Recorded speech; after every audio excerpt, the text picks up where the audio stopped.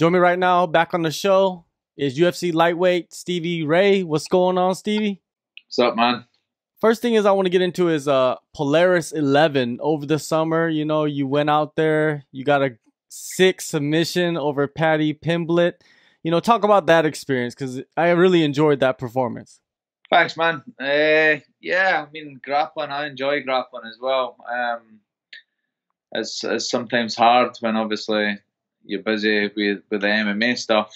Um, so yeah, I've, I've done a couple of competitions uh, earlier in the year as well, just trying to stay busy. I prefer it, you know. It, it keeps me more active in between fights because sometimes, you know, I could be waiting a while in between fights, and I, I like to stay active. I feel like I'm, you know, if I'm more active, it keeps my weight down. I'm, I'm away from the junk food, and um, yeah, and just staying motivated, and it keeps you sharp as well. So, uh, Polaris reached out to me, said, uh, "Hey, would you be up for the match against uh, Paddy?" And I was right away. Of course, I'd be up for it, but I had to obviously go and ask my manager and my coach, and because yeah, it was fairly close to obviously this fight as well.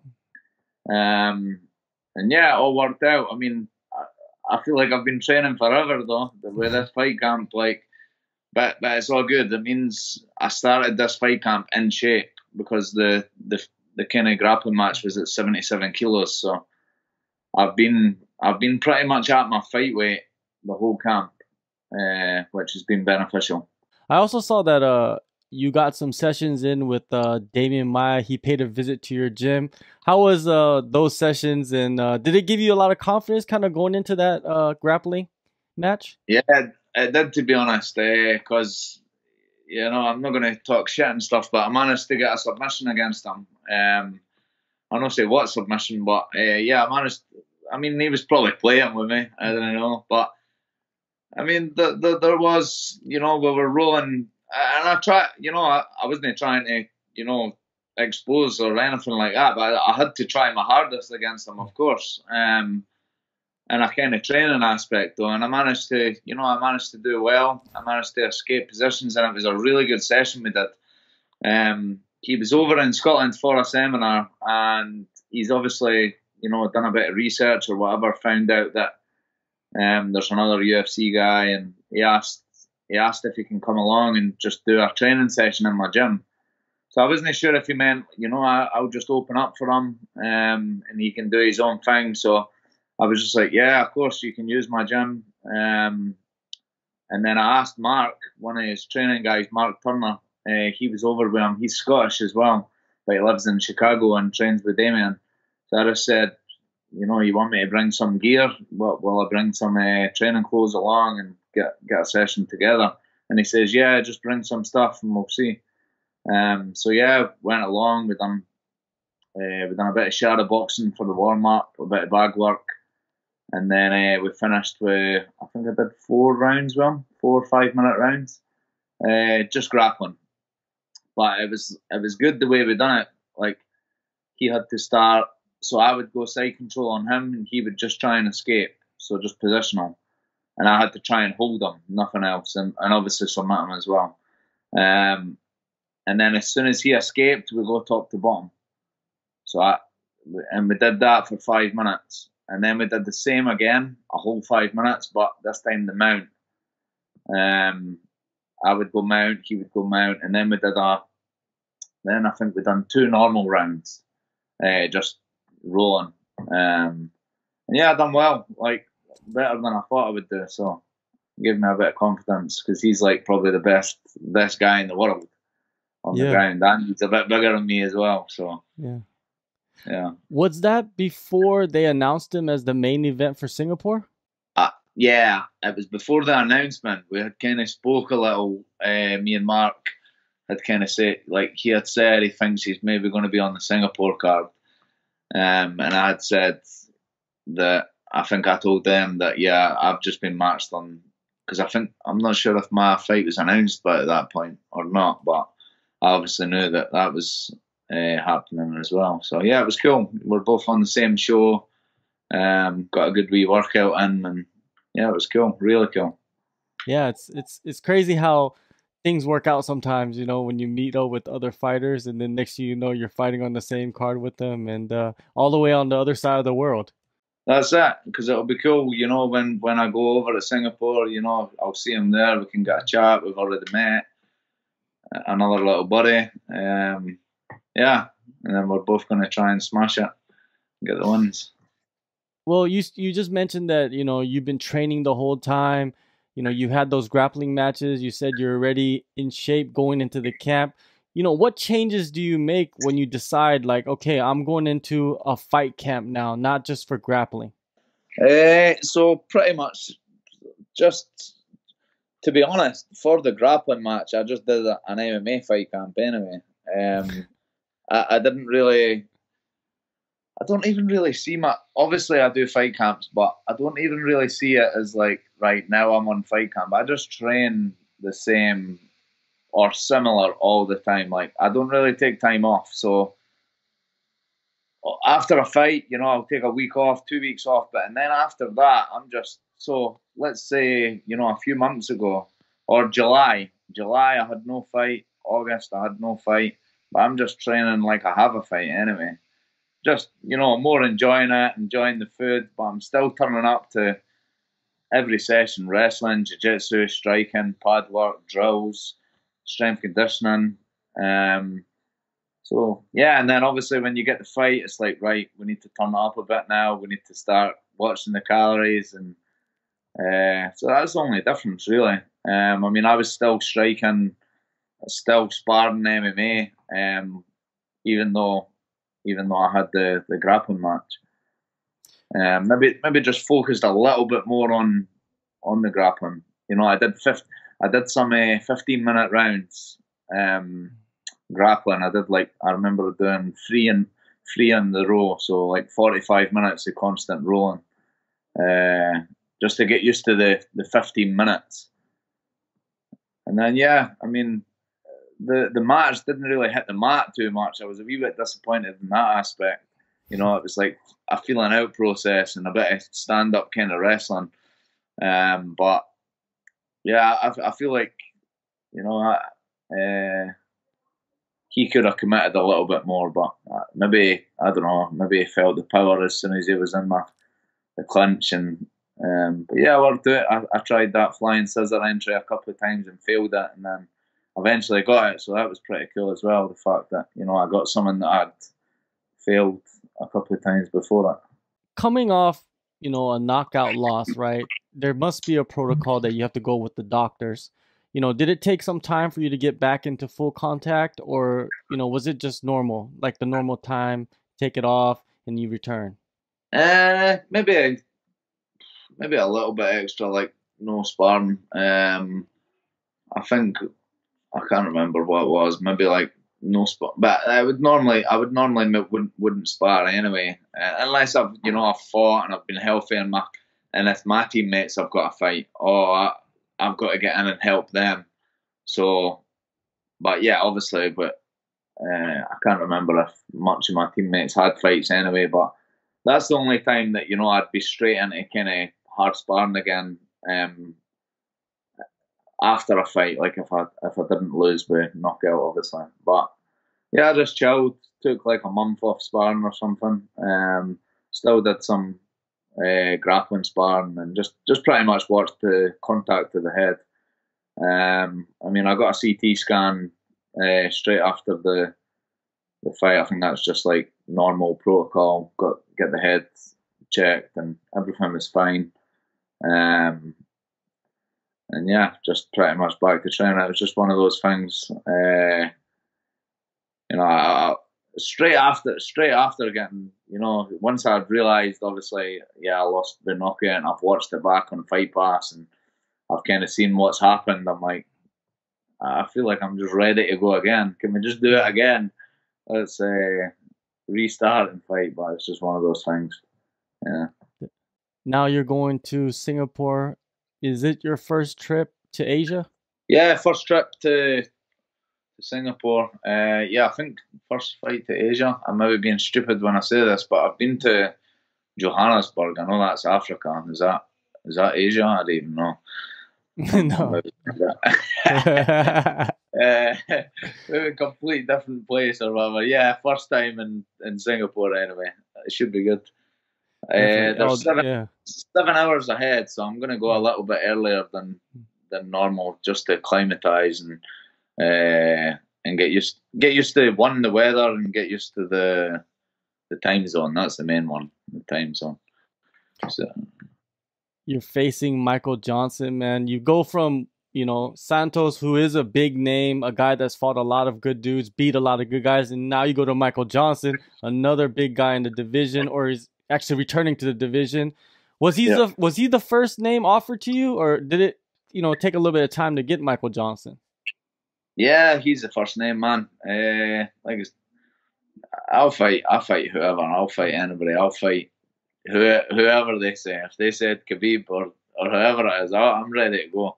So yeah, Ali said my manager Ali. Uh, he said, you know, we've been offered a fight, uh, Michael Johnson, and um, yeah, like I like the fight. I mean, obviously it's uh, if it's probably my it's probably like you were saying, Michael Johnson, a big name. He's probably the biggest name I've fought. Mm.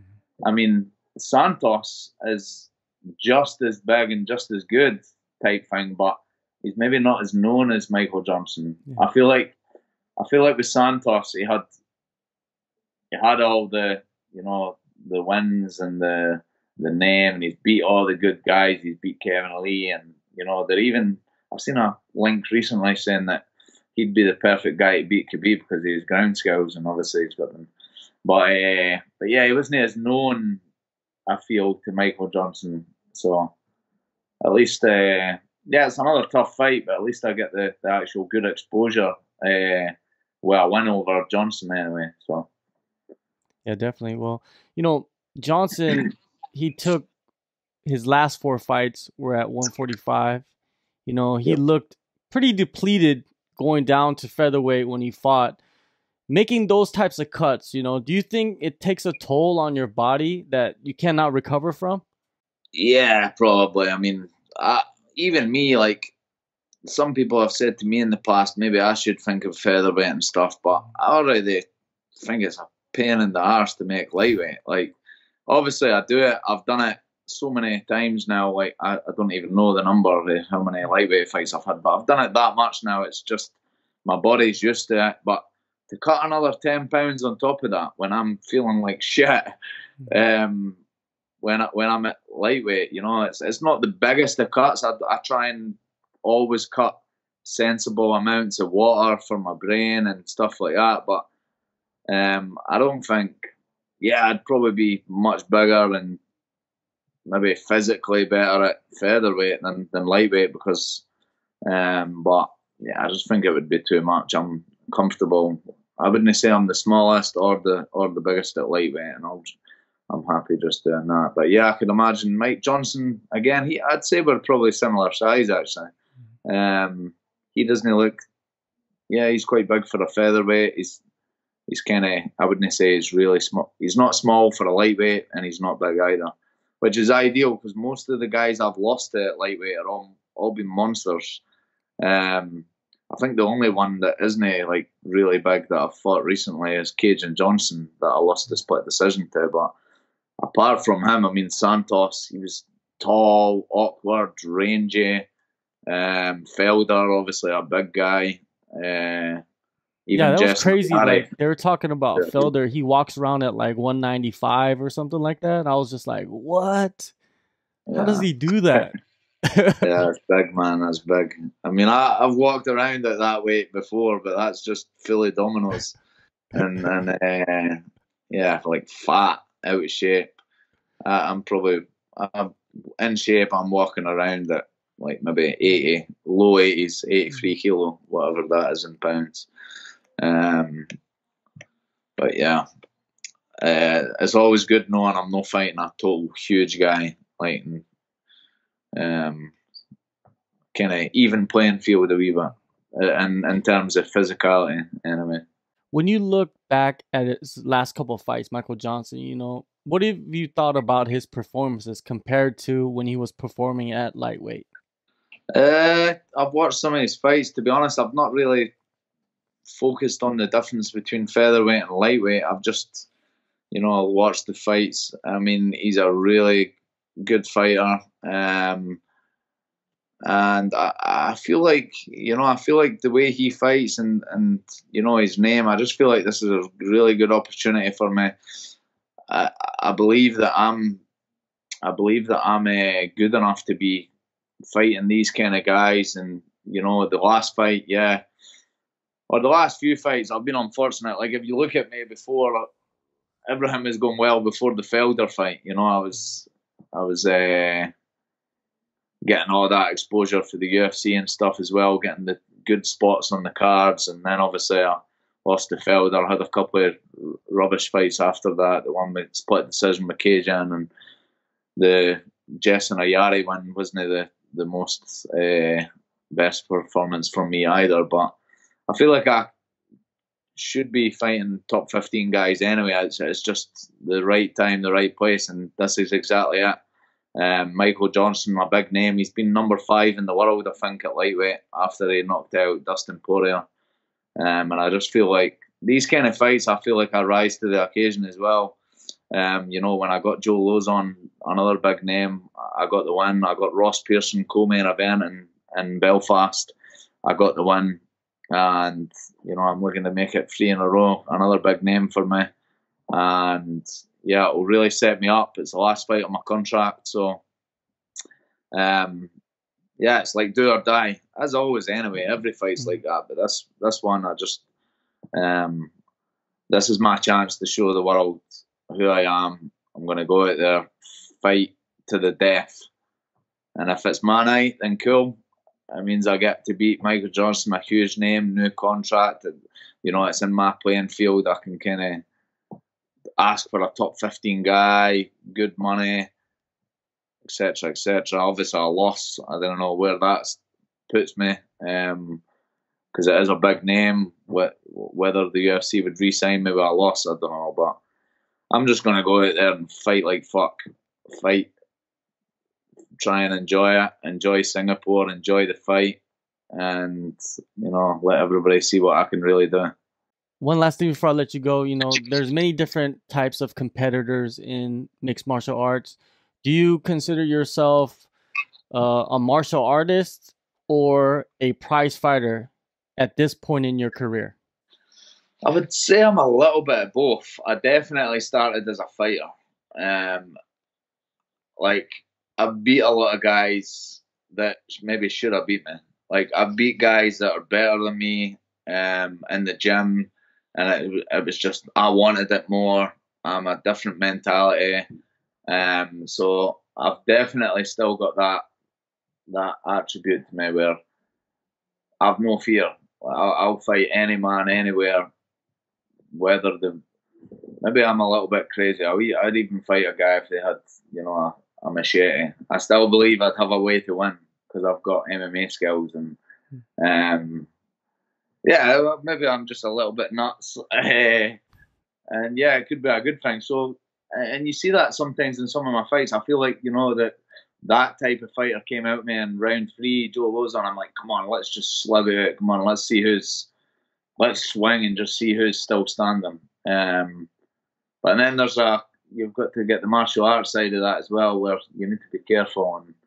And um, but we'll see. I'm just you know, I, am I would say I'm skilled and obviously martial arts. I'm also I can fight. Um, and yeah, I've made some adjustments uh, from even the last fight. I feel like I made a few mistakes against Santos. Uh, I, my feet weren't underneath me. I've, I've overreached. Um, Santos has just timed it perfect. Step back.